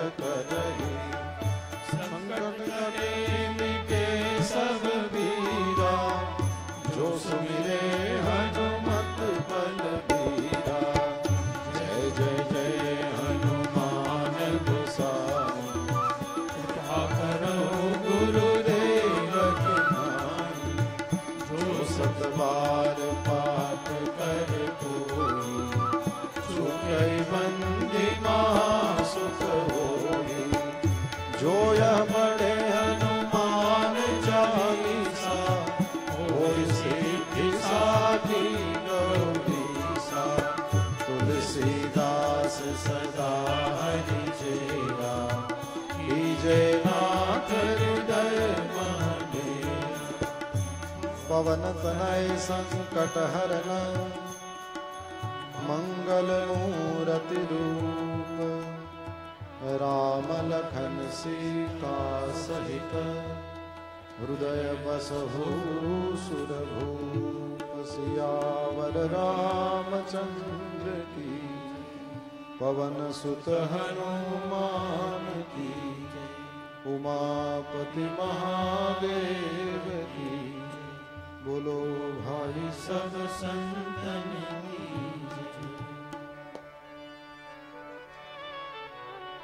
શરૂઆતમાં જ લખ્યું છે બલ બુદ્ધિ વિદ્યા દેહ મોહી. આ લોકની વસ્તુઓ ભગવાન પાસે માંગી ન શકાય તેવી વાત નથી. પરલોકની પરલોકનું સુખ પરમાત્મા પાસે માંગી ન શકાય તેવી વાત નથી. જે ઈચ્છા હોય તે માંગી શકાય. બસ વ્યક્તિએ પોતે પોતાના સ્વામી પાસે માંગવી જોઈએ. રામ કથા સુરધેનુ સમ. દેવતાઓની ગાય, કામધેનુ, એની પાસે દેવતાઓ, ઋષિઓ જે જે જોઈએ તે માંગે અને એને પ્રાપ્ત થાય એવી રીતના આ રામકથા પણ એવી જ છે. રામકથા સુંદર કરતારી. થોડી ઉપમાઓ આપી છે ભગવાન મહાદેવે કહ્યું કે હાથની તાલી છે. કેમ? કહ્યું, જે કોઈ હાથની તાળી વગાડે, એના માથા ઉપર કદાચ કોઈ પક્ષી બેઠું હોય તો એ ઉડી જાય. એમ સંશયના પક્ષીઓ જો માથા ઉપર બેસી ગયા હોય, તો રામકથા રૂપી હાથની તાળી વગાડો એ સંશયના પક્ષીઓ ઉડી જશે. સમસ્યાના પક્ષીઓ આપણા માથા ઉપરથી આવે ના આવે ભલે ને પછી ઉડી ભલે જતા, પરંતુ એને ત્યાં માળો કરવા ના દેવાય. માથામાં સંશયના પક્ષીઓને જે માળો કરવા દે છે, એ પછી કાયમ માટે દુખી. શકુનીએ માળો કરવા દીધેલો, દુર્યોધને માળો કરવા દીધેલો મંથરાએ માળો કરવા દીધેલો કઈ કઈ એ માળો સંશયના પક્ષીઓને માળો ન કરવા દેવાય. એ આવે ભલે, પછી પાછા તરત ઉડી જાય. ઉડાડવા હોય તો તાળી પાડો. તાળી પાડવી હોય તો એ કઈ તાળી? કયું તાળી? એટલે રામ કથા પરમાત્માની કથા એ સુંદર તાળી છે. કલિયુગ જાણે વૃક્ષ છે, તો રામની કથા એ કુહાડા જેવી છે. રામની કથા ને કુવાડા જેવી કીધી? અરે કીધું રામની કથા છોડો, રામને કુવાડા જેવા કીધા છે. હા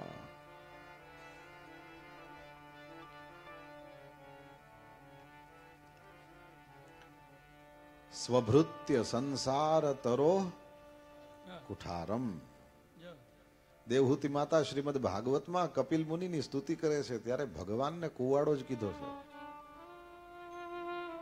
પોતાના સેવકોના સંસાર રૂપી વૃક્ષને કાપવા માટે ભગવાન કુવાડો જ છે. અહીંયા આ રામ કથા પણ એવી જ છે, એ કહે છે, કલી બીટપ કુઠારી. આ કુહાડી જ છે. એ શું કરે છે? કે જે કોઈ વ્યક્તિ એનું શ્રવણ કરે, એના સંસાર રૂપી વૃક્ષને કાપી નાખે.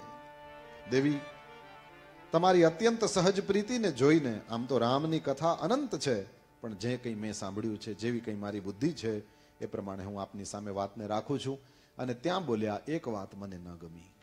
કઈ વાત ના ગમી? કહ્યું કે, આમ તો મોહને કારણે તમે કહ્યું, છતાં પણ તમે એવું બોલ્યા કે રામ કોઈ બીજા છે, જેને વેદો ગાય છે અને મુનિજનો જેનું ધ્યાન કરે છે? દેવી, જેને સત્ય અને અસત્યની કંઈ ખબર નથી, એવા લોકો જ આવું કરતા હોય છે. આપ રામજીને જે નિર્ગુણ છે અને જે સગુણ છે, બંનેને એક જ સમજો. થોડી વેદાંતની ચર્ચા દ્વારા ભગવાન શ્રી હરિના એ સગુણ નિર્ગુણ સ્વરૂપનું અહીંયા શ્રી મહાદેવજીએ વર્ણન કર્યું છે બિનુ પદ ચલઈ સુનય બિનુ કાના વગર પગના ભગવાન ચાલી શકે છે વગર કાનના ભગવાન સાંભળી શકે છે જાણે જગન્નાથપુરીના જગન્નાથ ભગવાનનું વર્ણન ચાલતું હોય ને એવું લાગે पग नहीं मूर्ति में मूर्ति में चरण नहीं है लेकिन वो ठाकुर ऐसा है हर जगह पहुंच जाता है उस मूर्ति के कान नहीं दिखते लेकिन सुन सब लेता है बिनु पद चलई सुनई बिनु काना ભગવાન એવા છે કે વગર ચરણના પણ એ ચાલી શકે છે વગર કાનના એ બધું જ સાંભળી લે છે કરબીનું કર્મ કરે વિધિ નાના हाथ नहीं है उसके लेकिन फिर भी वो सारे कर्म कर लेता है आनंद रहित उसका चेहरा नहीं है फिर भी सकल रस भोगी सारे रसों का वह भोग करता है बिनु बानी वाणी नहीं है लेकिन फिर भी वक्ता वाणी नहीं होते हुए भी वे वक्ता हो सकते हैं बड़ जोगी तन बिनु परस परस, शरीर नहीं होते हुए भी स्पर्श कर सकता है, बिना आँखों के देख सकता है, बिना नाक के सारी गंध को ग्रहण कर सकता है। असी सब भांति अलौकिक करनी, महिमा जासु जाई नहीं बर बिना आँखों के परमात्मा कैसे देख लेता है? बोले, देख लेता है। हमको आँखों की ज़रूरत पड़ती है, भगवान को नहीं पड़ती। પરમાત્માને આંખોની જરૂરત નથી પડતી જોવા માટે થઈને. આપણે સાધન વગેરે આપણે કંઈ ન કરી શકીએ. પરમાત્માને તો કંઈ ફરક જ નથી પડતો. એ તો સહજ સમસ્ત સાધનોથી સંપન્ન છે. ભગવાન શ્રી હરિનું આવું દિવ્ય ચરિત્ર છે. દેવી એ ભ્રમભંજન ભગવાન મહાદેવના વચનો સાંભળ્યા અને પાર્વતીના સર્વ કુતર્કની રચના ટળી ગઈ અને કહ્યું કે હવે દેવ આપ મને કથાનું શ્રવણ કરાવો. ભગવાન મહાદેવ અત્યંત હર્ષિત થયા છે અને પાર્વતીની સર્વ પ્રકારે પ્રશંસા કરીને પછી કથાનો પ્રારંભ કરે છે. ઘડિયાળના કાંટા સમય બતાવી રહ્યા છે. દસેક મિનિટ માટે થઈને આપણે અહીંયા વિશ્રામ કરીએ છીએ અને એ બાદ પુનઃ કથાનો પ્રારંભ કરીશું. શ્રી રામચંદ્ર ભગવાન